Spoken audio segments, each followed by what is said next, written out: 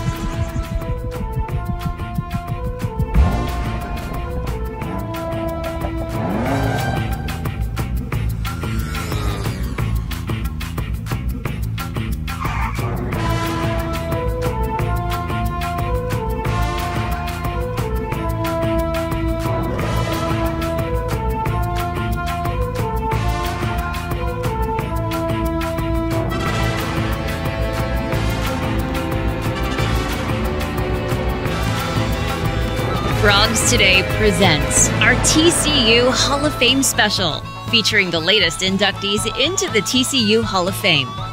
On today's edition, you'll hear from Andy Dalton. You know, I've just been fortunate to be on some really good teams and be a part of uh, you know some some really good organizations and Jason Flint. Uh, you're right. He was a, a, father figure, always giving us advice, but also giving us a little bit of ribbing uh, that we needed as well back then too. Lee Williams.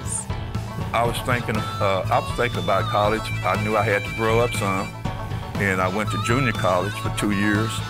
And Bryan Holaday. Man, it, it's a it's a coin toss because getting to play in the College World Series is unreal. And now from the TCU Letterman's Hall of Fame, here's your host, the voice of the Horned Frogs, Brian Estridge. Welcome into the TCU Hall of Fame. I'm Brian Estridge, and for the next two weeks, we get the chance to visit with the next eight members of the TCU Hall of Fame. They'll soon find their portraits here on this wall at Schollmaier Arena in Fort Worth, among the elite of TCU athletics. We start our conversation this week with the greatest quarterback of all time, some would say, in Fort Worth still owns multiple records, the all time winningest quarterback and Rose Bowl champion. We begin our show with a conversation with the Red Rifle, Andy Dalton. There had to be a point, Andy Dalton, where you allowed yourself to think, I'm going to be in the Letterman's Hall of Fame at TCU one day. Was there ever that chance? You know, I think for me, I, I thought at some point it might happen, but uh, I wasn't sure what all the requirements, how long you had to be out, all that kind of stuff. So uh, when I got the call and found out I was going to be in the Hall of Fame, it was it was really special, huge honor, and uh, thankful to that. You know, I got voted in. It's a, a really cool thing, especially with everything that uh, I was able to accomplish at TCU and and what we were able to do in my time there. Yeah, doesn't this kind of cap it off? Isn't this sort of the, the capstone to that TCU career for you? I think so. You know, I thought the Rose Bowl was going to be the thing that, that capped it off, but you know, fast forward a couple years and and here we are and getting to the Hall of Fame. I mean, it, it, my time at TCU was so special, and so I was you know thankful for you know to to end it this way with with getting to the Hall of Fame and you get to go in with your center and Jake Kirkpatrick. We were joking with him earlier about that's got to be fun for you to have to have Jake alongside. You guys were a terrific tandem uh, for that entire run, and one more time you get to share the stage together. For sure, Jake's one of my best friends, and so I mean, there's no other person that I would like to share this thing with than than him getting to go into the Hall of Fame together you go in obviously this year and it culminates a great career at uh, TCU. When you look back on it, everyone points to the Rose Bowl, obviously. Was there another game? Was there another time that stands out as one of your fond memories? Man, I, I get asked this all the time. What was your favorite game in college? Right, what was right. your favorite game that you ever played? Obviously, the Rose Bowl is number one. Hard to beat that one but I can go, back and, and, think of several of them. You can go to the my junior year in 09 when we played at Clemson. That was a that was one that we went in there into Death Valley and uh, you know found a way to win that one at the end. And uh, so that was a cool one. Then the the Utah game that we played at home that year as well. I think that was just the atmosphere that you know that that really kind of set the tone for kind of what what we could be and what TCU football uh, was at, at, that time. So, you know, when everybody rushed the field after the game, that was that was a really cool moment. And so, I mean, I could go back and think of so many different different games, but those are a couple that stand out right away. You know, one of the things that I feel like might be a little underrated for you that we've never had a chance to talk about was you you come out of Katy and you come to TCU, and that first year you played behind Jeff Ballard, and and and Jeff, who a fellow Houston boy, uh, who who probably would admit if he was sitting right here, hey man, I wasn't the greatest quarterback athletically, but there was a guy that found a way to win every every week. What was he? 19 and two as a starter, some record like that. Have we? You and I've never really talked about what playing behind him meant to you. Well, you see a guy exactly what you said. He found a way to win at, at, at you know at all times, and so I think that's just kind of you set the standard of okay, you're just going to stay the course of the game. There's a lot that can go on, and um, so I, I, think he was kind of you know epitomized that was it doesn't matter what goes on, and maybe the stats aren't exactly what you want them to be. And you know, I definitely had games that was the same way. But if you just kind of stay the course of the game and just trust that things are going to get done, and you know, it's going to happen. And I think Jeff was a, a great example of that, and uh, you know, a lot of people look at, you know, the four years that I was there ending in the Rose Bowl, but people don't realize that we won 11 games my true freshman year. I think we won, it was 11 or 12 games the year before I got there, too. So the standard was already kind of set when we got there. And so I think that that goes to show just the program uh, you know, kind of where it was going and where it was trending when when I got onto campus in 2006, but also just kind of what the the standard for the the type of players and and, and what we were able to do once we got there. And, and you go for 50 games as a starter, 42 and eight, still the all-time winningest quarterback, a record that'll be hard to be broken here uh, at, at TCU. Was there ever a point where you were adding those numbers up, where those numbers were in your head? From what standpoint? The number of wins that we were yeah. able to have? Yeah. Yeah. Yeah, I think, you know, I was fortunate that I was able to start as a freshman. You know, I redshirted that year and then uh, got to play in 50 games. So, um, I mean, to if you're going to be around that long and be able to have be on some good teams like I was able to be on, you know, I think that's one thing that is fun to look back. I, I, I talk about it all the time with guys in the locker room and stuff. You know, yeah, I, I went undefeated in college, you know, but then it was seven and five, 11 and two, 12 and one, 13 and 0. So yeah. uh, the progression's there. And uh, it's cool that we got better every year, too. Yeah, 13 and 0, number two ranking after that Rose Bowl as well. But I want to talk about something off the field for just a little bit, and, and that was a ministry that you were a part of that you started. I want to make sure I got it. Was it Ignite? Did I get that right? Going back in time here. That's right. Yeah. Yeah. So Ignite was a ministry that you and a couple of guys started that I, that I remember running into you one day at, at practice, and you said we had 900 folks Thursday night, and it was like 900. I mean, talk about the impact that that had as well, and and and, and as you think back on that, the memories of it. For sure, that was something that was cool that I kind of got to be on the uh, beginning stages and and starting that that ministry. I think that's one thing we looked at TCU, and at that time there really wasn't uh, a ministry or a place where students could all go gather, and it basically was a worship service. We had music, and then we uh, would have a, a, a sermon, and so we thought, you know, this is something that I think TCU was craving, and if we could get something started, uh, then it, it, could really take off. And I, I think our first night that we actually had it, it was on the night of the college uh, national championship game, the basketball right. game. And I think we ended up having 600 students there, wow. 600 people. It was like unbelievable. And just to see how God worked through that whole thing. And, you know, it continued to grow and grow. And so it was something that was cool that got to be on the ground floor of and, and, and kind of start that and uh, have the foundation with everything and, and got to meet some really good people through. We look back at kind of the crew that started it and like i don't know how we all got together god god obviously ordained that that group to uh, to help start it. And I mean, it really took off. Andy, you had a great NFL career that continues now with the New Orleans Saints. You you think about the run in Cincinnati, uh, the fact that you leave there with five straight playoff appearances at one stretch, uh, it, then obviously with the with the uh, with the Cowboys and with and, and with the Bears and and now with the Saints. I mean, this has been one hell of a run that you've been on. Yeah, it's been really cool. You know, I've been fortunate that I've been able to play a lot of football and, and been around for a while. You know, I was talking with somebody the other day. It's like I'm now the old guy. I'm, you know, I'm the oldest guy in our team here in New Orleans, and so it happens quick. But you know, I've just been fortunate to be on some really good teams and be a part of um, you know some some really good organizations, and you know we're we're, we're still going. So we'll, we'll see how, how long we we keep this thing going. I say we obviously it's a it's more than just me. It includes you know my wife JJ and then our, our three kids, and so we're still having fun. And I was like I was saying earlier, we just moved down here to New Orleans, so starting this next chapter in our journey. Will uh, Will your boys play football? Yeah, if they want to, I think they've they've done flag football uh, yeah. up to this point, and so we'll, uh, we'll see where their passions lead them and w- what they want to do. But uh, right now, they're playing every sport that uh, that, that, they want to play. That, that's awesome. Two quick ones to leave you with, two hard ones, because you and I have always talked about some of the fun stuff.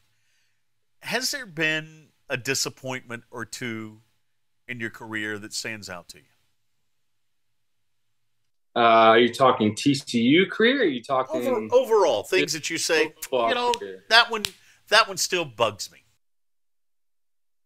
Uh, yeah. Well, if we're gonna talk TCU, the uh, Fiesta Bowl, that's the one that, that that stands out. You know, we had everything in front of us. We could have had like, two years where we went undefeated, and then I also went on and had Kellen Moore as my offensive coordinator that's when I was in Dallas too. so luckily, I beat him the year before uh, in the Poinsettia Bowl but he had it that he he won the Fiesta Bowl. That one was uh you know a little bit bigger of a game, but uh, yeah, I think that one just because it would have been nice. I you know the Rose Bowl team was really good. I it was hard to say which team was more talented if it was the Fiesta Bowl team or the Rose Bowl team. And both two really good teams. You know, it would have been nice to end that one. Um, you know, there there was a time, and then you know, there's been several things that have gone on, injuries that have happened in my career that, you know, really took a, you know, kind of changed the course and trajectory of what could have happened. 2015 was by far our best season in Cincinnati. Yeah. And, um, you know, got, got injured late in the year when we were 12 and two and had everything in front of us and wasn't able to play in, in the playoffs that year. And, you know, felt like that we definitely could have made a made a run that year. But I mean, there's also different things that, that have gone on. So I mean, there's a couple couple things that just initially jumped to mind. You, uh, I, I've known you to be a great student. You're a great dad. You're a great husband. You're a good friend to to a lot of us. Uh, obviously, a terrific player. I'm, I'm going to jokingly ask this though: Is there anything that you're bad at? Um, that's a good question. Yes, there are things that I'm, I'm bad at. If we're going to talk athletically, I like to think that I'm pretty pretty talented at, at, at, most things. Right. And which makes it fun because going into the Hall of Fame with Jake, we compete at everything. Right. From the moment we stepped on campus, it was, whether it be video games, whether it be throwing a football at a stop sign, whether it be, you know, whatever it is, you know, we would always compete. And I would say Jake would be one of those guys that's probably not bad at anything. Jake is one of those guys that that is good at it all. And so, um, but I like to think that I could compete with him. Andy Dalton, you're the best. Thanks for the time today. Absolutely. How early did we know that Andy Dalton would be a member of this Hall of Fame one day? You know, his 42 and 8 record still stands all time as the all time winningest in TCU history as a quarterback, but it doesn't compare to the next record. Our next inductee is a gentleman by the name of Jason Flint, who sits at 30 and 0. Remember the faces yeah. of the crowd in Sports Illustrated? And there you yeah. were for the 30 and 0 mark, right? Our conversation with Jason Flint is next as our TCU Hall of Fame special continues here on Frogs Today. Say hello to the water of tomorrow. Richard's Rainwater. Richard's Rainwater is 100% rain, refreshing, renewable, and the only ingredient we use in our water. Why rain? Because everyone deserves access to clean water, and rain is a 100% renewable resource available everywhere. Drink the rain.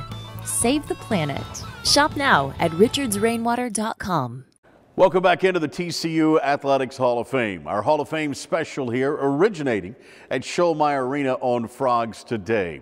Thanks to our friends of the Block T Association for their hard work in compiling the next eight who will join this Hall of Fame here in Fort Worth. Next up, Jason Flint from Toronto, Ontario. He showed up with an unmatched work ethic that paid off in the pool. Our conversation with Jason Flint right now. Jason, I know you're in Chicago right now, a Toronto native, though, and I'd love to hear the story of how somebody from Toronto ends up swimming at TCU. How'd you end up in Fort Worth? Uh, I got really lucky. Um, I was a uh, hockey player, as every Canadian has to do. So I played hockey in the winter, um, and then I swam in the summer. Um, and then I had to to choose at one point. It was that was I going to be a hockey player or was I going to be a swimmer? Um, and I had an older brother uh, who was a really good swimmer, and he was already eyeing going down to the states to swim. Um, so he he actually got a scholarship to George Washington, um, and I wanted to follow my big, big brother's footsteps. So my parents said, "Hey, I can I can look at a school kind of around the Toronto area, like just a couple hundred miles." Um, but I knew there was one school, TCU, that actually recruited uh, some swimmers, and Richard was always walking around the deck at uh, a lot of Canadian swim meets. So I said, "Okay, I'll I'll look at some schools around the Toronto area, but there's one school in Texas that I want to apply to." Um, so I, I sent off the letter back then when we were writing off letters uh, to Richard, and he replied back. Um, and so next thing you know, that I did a recruiting visit to Texas. I'd never been to Texas, um, and obviously fell in love with it. Um, and so that's how I ended up in Fort Worth. Well, Richard Sybesma, of course, a long time. I think it ended up being like 38 years or something like that. The swimming coach here at uh, at TCU. Give us some insight into he, he was more than a swim coach for for for for his team, wasn't he not? I mean, he was he was more of a father figure at times, wasn't he? Yeah, and I mean, I I would say again as I I took my visit to TCU, um, I remember him driving driving a couple of us around, and he was showing us all the spots, and I was just like, this guy is he's he's having fun, and it really looked like a, a great program to be part of. Um, and obviously, I think I was lucky enough to go to uh, some meets like NCAA's, where it was just Richard and I. And so we, we spent a lot of time together, and it was, uh, uh, you're right. He was a, a, father figure, always giving us advice, but also giving us a little bit of ribbing uh, that we needed as well back then, too. Were, were you riding around in a, in that green? A, were you riding around in the green suburban? Uh, I think that might have been pre-suburban era. Was it pre-suburban era? Because he like had the a, suburban for about yeah, maybe a maroon. Yeah. yeah. That, that is that's how we know Sybesma. That's for sure. You know, you think about it, Jason. You look on the you look at this class that you're going into the Letterman's Hall of Fame with, and I'll be honest with you, your numbers shoot to the top. Thirty and zero, oh, undefeated. I mean, that's that's hard to beat, my man. It's never been beat. Thirty and zero. Oh. Give us some insight yeah. into that streak. Um, well, yeah. So, how lucky am I to be uh, inducted into this class? So, uh, super privileged to be part of it. Um, so, I again, I I showed up as a, a freshman at TCU, and um, actually had never even swam the event that they swam yards in the U.S. In in Toronto and Canada, we swam meters. So, I didn't even know the times then, and um, I think it was uh, even sophomore year. Richard's like, "Hey, wait a minute! You got you haven't lost yet in one of these meets," and so it, was fun because then every meet we went to, there was just a little bit more pressure because I, I didn't want to give up the streak. So um, I remember just like going into those dual meets just so focused and excited. And I think I swam on adrenaline a lot because I knew I was like, well, I can't, I've I've gone three years or three and a half years now. I can't lose it. I got to give it everything, and um, I think uh, adrenaline powered me through a lot of those races to to keep the streak alive. The, the thing that stood out to me, and I still remember this, it was uh, March the eighth of '99, uh, and that was the Sports Illustrated Faces in the Crowd. Remember the faces yeah. in the crowd in Sports Illustrated, and there you yeah. were for the 30 and 0 mark, right? Yeah, yeah, I love it. I, I, I remember getting the call, and this is a, an odd story, but again, Sports Illustrated. I remember growing up reading that Faces in the Crowd all the time. It was just a fun page to go to whenever we got the uh, uh, the weekly magazine, um, and to get the call that I was going to be on that was was mind blowing. But the problem was swimmers were kind of a weird batch. I think I had just dyed. I had a little more hair back then, and I dyed it like a white color. and I'm like, oh no, I can't go into my one uh, shot with my my uh, Sports Illustrated with white hair. So I went down to the Albertsons there, and we tried to recolor it, and I think it ended up green, and it was fried. Um, so I'm. It's kind of funny that my Sports Illustrated is this uh, attempted hair job that I did, but uh, super fun to be in Sports Illustrated. That uh, what a uh, what a treat that was three-time academic All-American. Give us some insight in uh, how you took your time academically here at TCU and what you're doing with it now, career-wise. Yeah, I mean, I I uh, I went in and it was I really enjoyed going to schools and it was interesting. I, I came in as a a biology major. I thought I was going to go pre med.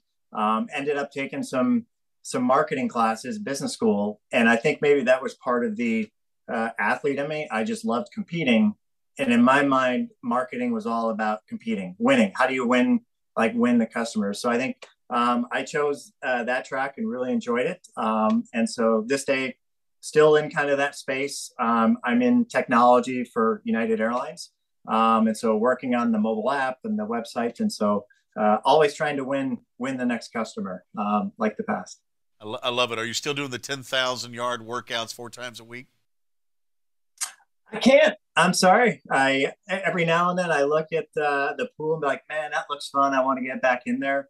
Um, but uh, it it was a it was a tough sport. That, as you said, ten thousand uh, yards and and hours. Um, so I'm doing a, a, couple different sports now. In Chicago, we do uh, paddle tennis when it's negative, yeah. you know, uh, pickleball, zero degrees yes, outside, and yeah, yeah, yeah, yeah. So having having some fun with some new sports.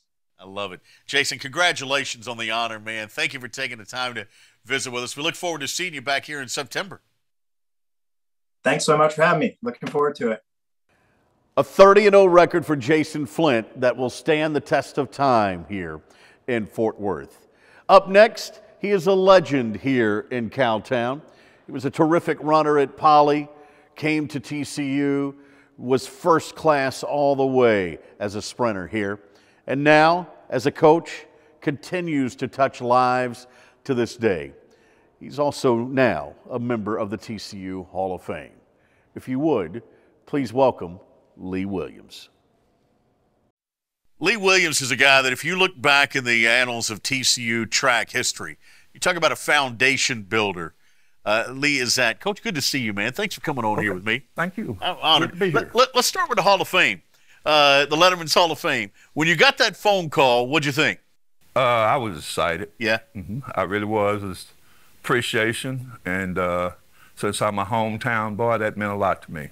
Did you think? Was there ever a point where you thought to yourself, "Ah, they're not going to put me in. It's it's passed me by." Oh, sure. Yeah. Yeah. Yeah. Uh, but it was okay. I was yeah. enjoying what I was doing and still getting recognition for the city of Fort Worth and right. the school district with what I was doing as a coach, and I was good with that. Yeah. So, um, was it a total surprise when you got the f- phone call, or had somebody kind of giving you a heads up? Uh, somebody kind of gave me a heads up. One of my track boys. Yeah. Uh huh. That ran for TCU. Right. Johnny Collins. Yes, the great Johnny Collins. Uh, Johnny said, "Hey, coaches, they might be calling." Yeah. That's what a good feeling. You think about when we talk about foundation builders. You think about your history here uh, and, and, the fact that your your team was the first one to qualify for the NCAA tournament, right? As far as re- yes. relays is concerned, yes. First one to qualify for the NCAA meet. I mean, that says a little something right there, doesn't it? Oh yes, we're very proud of it. Me, Yeah. David Harden, Gary Peacock, David Harden. uh-huh, uh, Samuel McKinney. Right. Uh, we qualified in the mile relay in '73, and we qualified in the four by one in '74. Wow. You you mentioned you were a hometown boy. You went to Poly. Yes. Ran, ran at Polytechnic for uh for my our man Paul Galvan, Yes. Coach Galvan. So you guys were really good back then, weren't you? Yes, we're pretty good. Yeah. And so, um, did you think you would end up at TCU, or were you even thinking about college at the time? Uh, I was thinking. Uh, I was thinking about college. I knew I had to grow up some, and I went to junior college for two years at Ranger Junior College. Yeah. That place will make you grow up. and uh, then my teammate Gary Peacock was from Poly too, so I wanted to run with him. So I came back to Fort Worth. Yeah. TCU. And have been a legend since. Obviously, you ran at TCU, had a great career that put you in the Hall of Fame. Then you decided you were going to become an educator and a teacher and a, and a coach. Yes. What led to that decision for you? Uh, I always wanted to be a coach. I uh, really didn't even know what a coach was. I uh, started in the seventh grade. Yeah. hmm So I want to do that. And from there, it just bloomed out, and I was able uh, to get a job here in Fort Worth, and that was a proud moment for me. Yeah.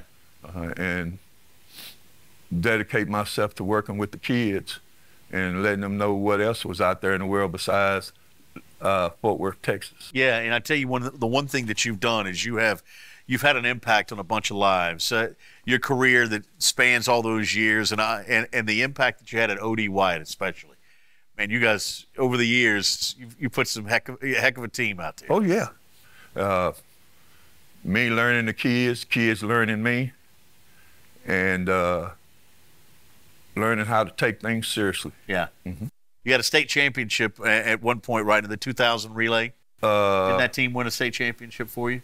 '98 we won. Eh, 90, 98, you won the 400 meters, right? Uh huh. We that won the- the state championship that year. Yeah, was that the third? Was that the national record uh, in the 400 meters Yes. for your team? Yes, they Is that still s- hold it. Is that still around? Yes, Wow. it's been uh, five thirty nines run. Really? Uh huh. And yours was 39.76, right? Yes, and you add the other four, we got five of the top ten Yeah, in there because we ran that special group ran thirty nine something yeah. five different times. Wow, think about that, man. That is flying. Yes, it That is. is, that, that is awesome, and that's something that still stands today. That's what that's what's great. But they and I've read a couple of quotes from guys that were on that team who said they actually thought they were faster than that, that they were faster than the 39.76, the 39.76. I thought that too, but uh, back then it was a blind draw. right. And we wind up with lane one. And lane one and lane eight are probably the two hardest lanes to run out of. And for them to run a national record out of lane one was just fantastic. Do you uh do you still own some TCU records? Because at one point you had a couple of them, right? Uh, yeah, the mile relay, The mile relay uh, and the 400. 400 meter relay. Yeah. Well, it was yards then. Right. And uh, I uh, set the record in the 400 uh, 400 dash. Yeah. But uh, all those are broken. Yeah. Uh-huh. But think about that though. You those were yours, man. Those were Oh yours yeah. at one point. Oh That's- yeah. that's- you appreciate it. Yeah. As you, I think you appreciate it more as you get older Yeah. and uh, realize that you were doing some things that nobody else had done at TCU. Right. Well, you look at your resume, and it's it's pretty impressive of all the uh, players that you've coached over the years, Yeah. all the success that they've had, the Coach of the Year awards that you've been a part of. You know, you're champion, been state champions a couple of different times. Yes. What what sticks out to you the most as as the your most favorite accolade? What what's the, what's the one thing that sticks out to you the most? Uh, from a standpoint of coaching, uh, being named Coach of the Year for the state of Texas, That's your peers saying that, right? Yes. That tell that says a little something. and that happened twice. So very appreciative of that. yeah. And of course, winning the state championship in '98. Yeah. and s- kids holding two national records for one of them for 20 years and the other for 24 because we ran the uh, 4 by 200 in Florida and uh, won by three seconds Yeah. with nobody pushing. Really? Uh huh. And uh, I know the team that broke our record, they had people pushing them. I told them that's the difference. Uh, you have to have somebody make you run to run fast. Yeah. And by us running by ourselves, that, that wouldn't happen. I run a lot faster when somebody's chasing me. I do too. Hey, I want to leave with this. One of the things that you were known for that you did is you warmed up your teams outside of the stadium. You never, you, you didn't like to warm them up uh, very much in, in the in the event field. Why is that? Just too much distraction, especially when I had a good team and you have the fans being fans yelling and hollering at them and Yeah. breaking their focus. So I decided uh, in '98 that I was not going to have those kids where the public could just holler and scream at them all the time. And at the state meet, I brought in one of my former athletes that's a DEA agent. Yeah. And he was down there keeping people away from them. Really? Yes. Because everybody knew who they were. Yes, we had already uh, broke the national record in the prelims at the regional meet. Yeah. And then we came back at state meeting, of course, broke that record. And uh, I just needed people to stay away from them until they. I didn't even want the parents around. I just as soon as they get through competing, you're more than welcome to talk to them. So they walked out there confident and blew the doors off. Yes, and I was up there sweating and everything else. And once I saw them walk out there on the track and they act like they were the only ones on the track, I knew they were ready to compete. Lee Williams has been a heck of a career. Yes, it has. Congratulations on headed off into the Letterman's Hall of Fame. Thank you. I got. I just remembered I got to uh, uh, make a phone call when I leave here because they want to take a group picture of all the Hall of Famers next Yeah. week. You got to get it going then. Oh, I'm all right. Thank you now. Uh-huh. I really appreciate Okay. it. Lee Williams joining us here uh, here on Frogs today. We got a lot more still to come after this time out. The Flying T Club provides the everyday TCU fan and alum the ability to specifically support TCU student athletes. Flying T Club offers three levels of memberships. The Flying T Club is a nonprofit organization supporting the brand development of TCU student athletes through a series of unique event based networking opportunities, which are exclusive to our members. These events provide a great social engagement tool for our members and student athletes alike. Follow them on Instagram at Flying T Club or online at flyingtclub.com. Welcome back into our TCU Hall of Fame special here at the Hall of Fame at Schollmaier Arena. Thanks to our friends of the Block T Association. Here at Frogs today, we thought we would visit with all eight of the newcomers into the Hall of Fame. We've worked our way through three. Our next guest can simply be described as tougher than nails. His name, Bryan Holaday, the frog catcher, and he joins us right now. Good to see you, brother. Good to see you. Man, congratulations. You get the phone call that says you're going in the TCU Letterman's Hall of Fame. What'd that feel like? Man, it, it's honestly a dream come true. It's uh, words can't describe how how proud it makes me and and how humble it makes me feel. Uh, it's just absolutely incredible. You know what I would think, it- it- and this will never happen to me because I'll never be in a Hall of Fame. But if I were you and I got the Johnny Bench Award like you did, or if I was, you know, the on that all tournament team for the College World Series, in the back of my mind, I would have said, "I'm going to get in the TCU Hall of Fame." Did you? Did, has it ever crossed your mind? It, it really it really never crossed my mind uh, until I got the phone call. I, I I never thought about it. It um, like it yeah, it just never crossed my mind. Uh, and then I got that call and it was just ecstatic. You know, I got to call my family and tell them, and and it's just a really special feeling. You think about where this baseball program is now, Brian, and the experience that they've had over the last 12, 15 years. I mean, you're you're the building block to that. I mean, you, you're you're right there, man. That, that you're you're one of the the key. Take you away, and it's like Jenga, and it just comes. I don't know if I'd. I don't know if I'd go that No, far. I mean, had- you, you, I, I, I'm not saying you're the only one, but Jake Arrieta is going into the Hall of Fame. Another guy like that. You know, Yeah. take Jake Arrieta away, who who knows? Yeah, you know, I you mean- take you away, who who knows?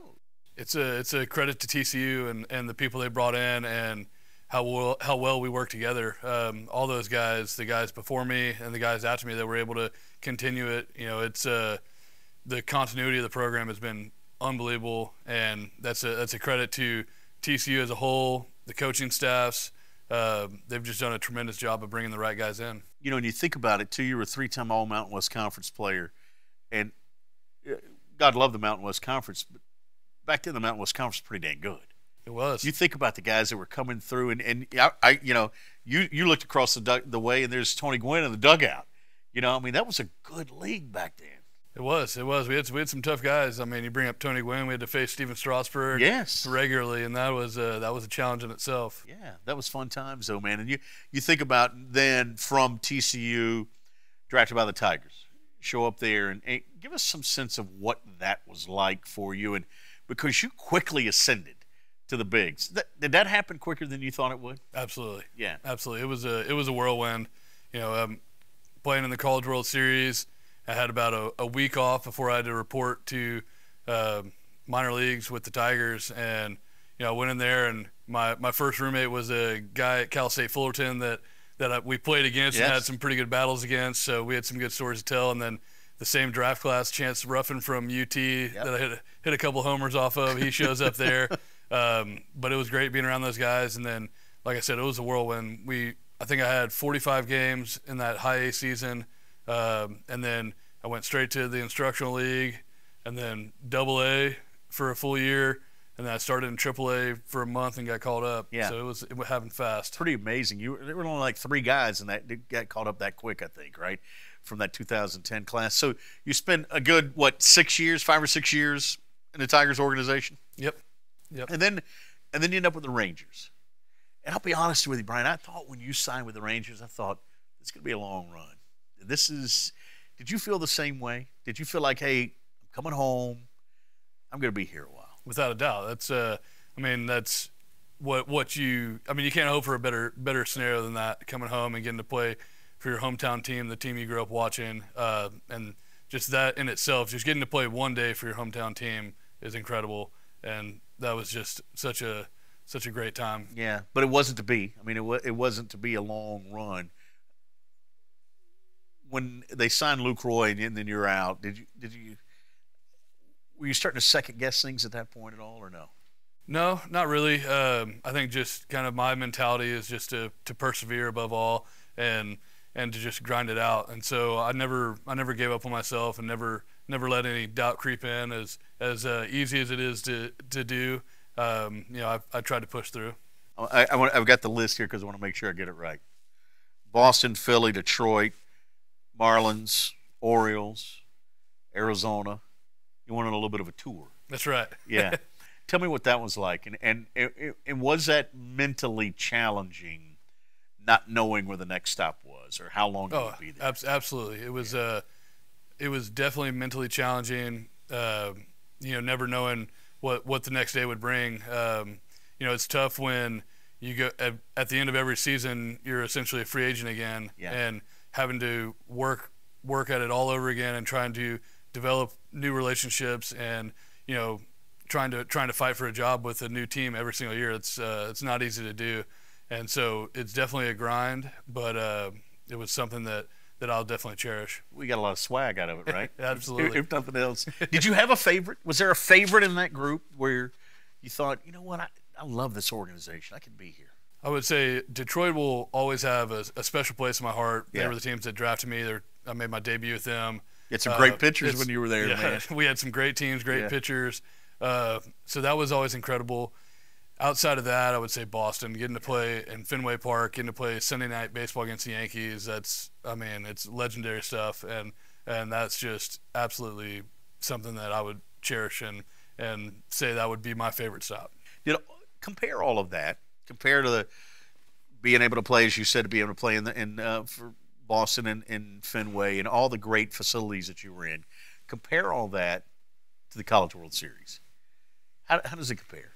I mean, it it's a it's a coin toss because getting to play in the College World Series is unreal, and and it's uh, just such a great atmosphere on the field, off the field the whole city of Omaha takes you in and treats you right. And I mean, you're playing in front of 25,000 plus every night.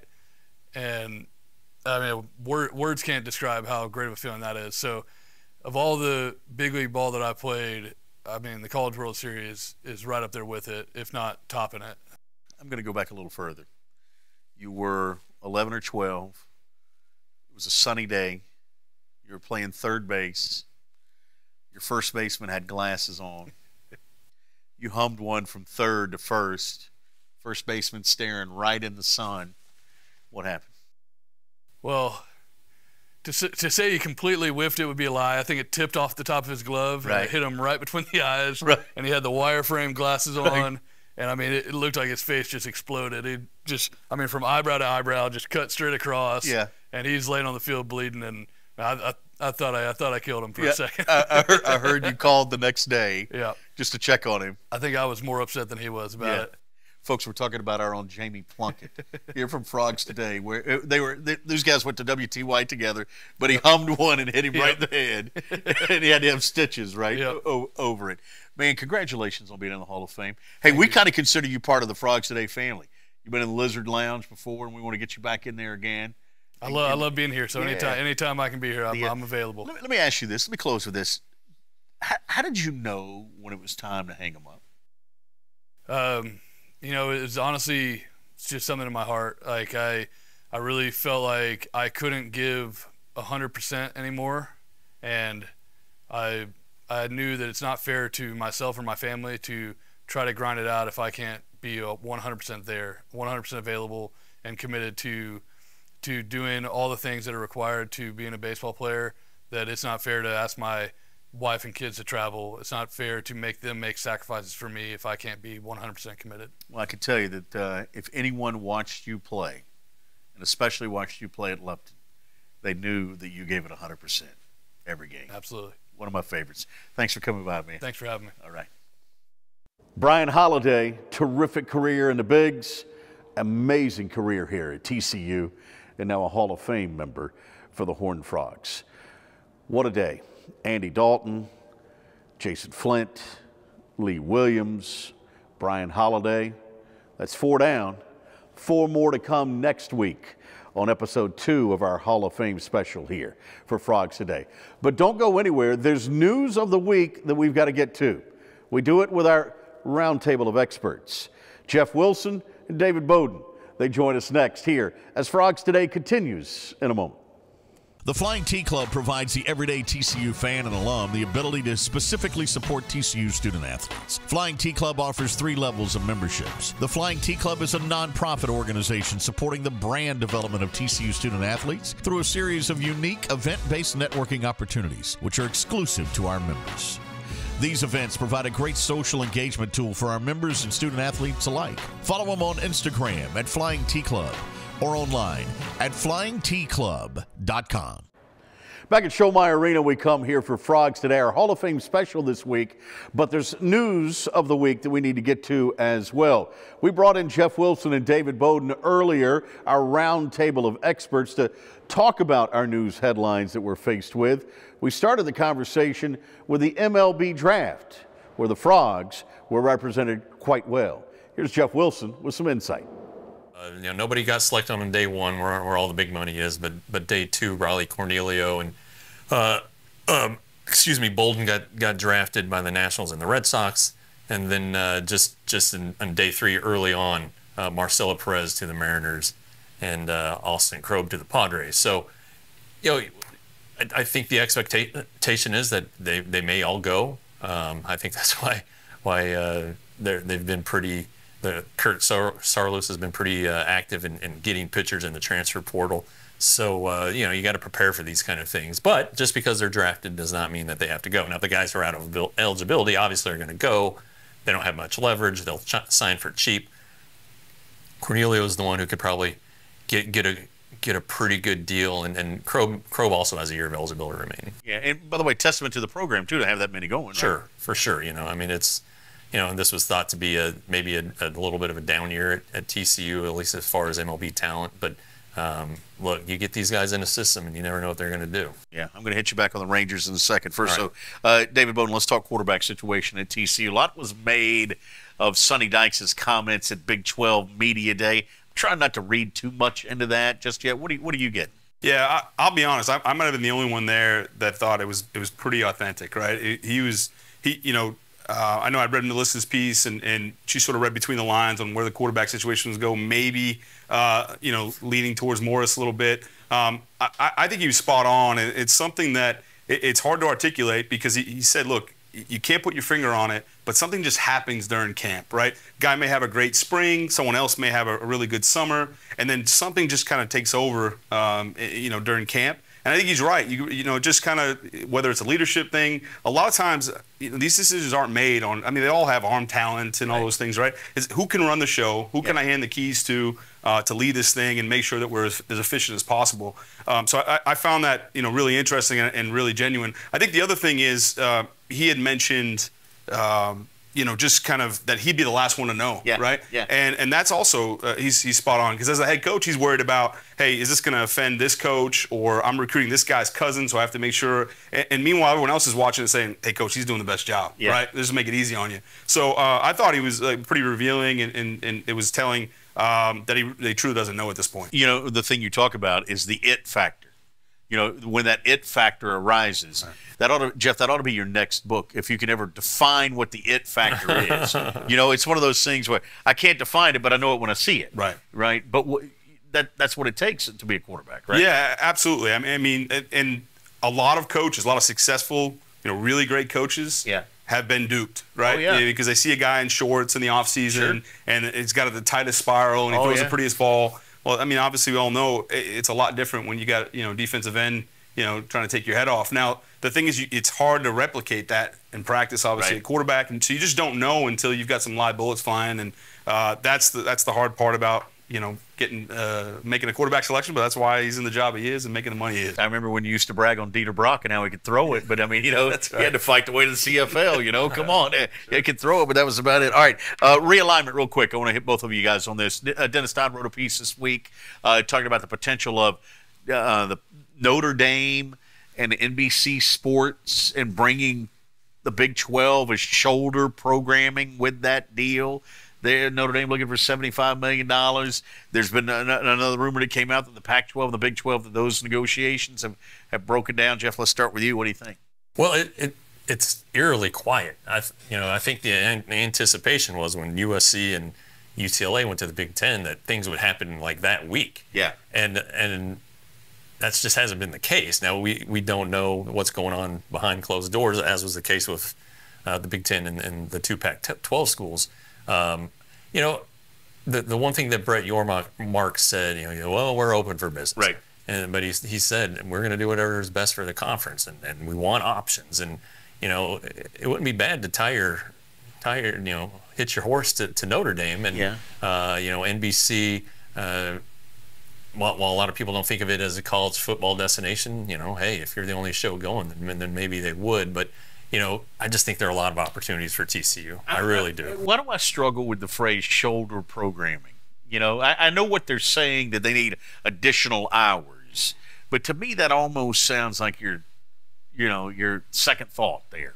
Yeah. You know, with Notre Dame. Sure, yeah. Well, I, I think that they're also the way they're thinking may be a little antiquated as well, right? Yeah. I mean, with the rise of the SEC and the Big Ten, the way this is going, right? Um, I, I think they have to be all this posturing. They have to be careful, right? Yeah. It, this isn't. We're not talking about you know Notre Dame of, of old here. Um, quality program, obviously, you know, been into the national playoffs, all that stuff. Right. Um, but I don't know if they have the same clout as maybe they feel now obviously they do because they asked for $75 million, right? right, right, right. Uh, so I, I, think that's it. And I think in terms of the, the Pac-12 and in, in, the in the Big 12, it's sort of a game of chicken right now. You yeah. know, and I thought, you know, same to you. I thought everything was going to happen fast, yeah. and they're just kind of bracing themselves, saying, "Hey, who's going to blink first? Twenty billion dollar endowment at Notre Dame. You'd think they could uh, paint the end zones. Right. you know, I mean, come on. All right, uh, real quick. Uh, Rangers today, this week. Uh, you, I, am sure it's draft heavy. What are you going to be talking about? Lots of lots of draft. The Rangers, the Rangers just really pulled a couple fast ones that yeah. that really shook up the draft and uh, could be great. Uh, could be. I mean, if Kumar Rocker, yeah, and Jack Leiter, they obviously pitched together and were great at Vanderbilt. And if if Rocker's healthy. Uh, and then the, the fourth round pick, a, a, kid named Brock Porter, who Michigan prep threw three no hitters this year. Yeah. Gatorade National Player of the Year and he fell out of the top the top ten and all the way to the fourth round. Yeah, the Rangers how, snagged how does that happen? you know, they, he had a he is committed to, to Clemson, right? Uh, and and I think he he probably you know his agent is Scott Boras, and so our advisor, right? And so he probably put out, hey, if you want if you want to sign him, you got to give him first round money. Yeah. And the Rangers, because of the way they structured the Rocker deal, are able to do that. All right, David Bowden, uh, dissecting the frogs this week. I know you got a couple of things on social media where you're looking at the 22 new, the new guys coming into the TC, right? Yes, yeah. I just want to give the fans an opportunity to to get you know uh, familiar with the new newcomers, Right. uh, both transfers and and uh, uh, freshmen. So Jordan Hudson's the first one, a kid right down the road in Garland, and uh, excited to, to do that. So it, it, it's coming soon. All right. Thank you, man. Thanks for stopping by. It's been our Hall of Fame edition here of uh, Frogs Today, episode one. Back again next week with another edition with four more candidates uh, headed off to the uh, Letterman's Hall of Fame at TCU. Don't forget, if you'd love to advertise with us, we'd love to have you. Uh, all you got to do is uh, follow that uh, email on the bottom of your screen. Make sure you subscribe at frogstoday.com and on our YouTube site as well. Become part of the family here at Frogs Today. Until next week with another edition of our Letterman's Hall of Fame special. I'm Brian Esther. Have yourself a great week. Frogs Today is brought to you by the Flying T Club, supporting TCU student athletes, and by Richard's Rainwater. Say hello to the water of tomorrow. Frogs Today is a production of Roxo Media House.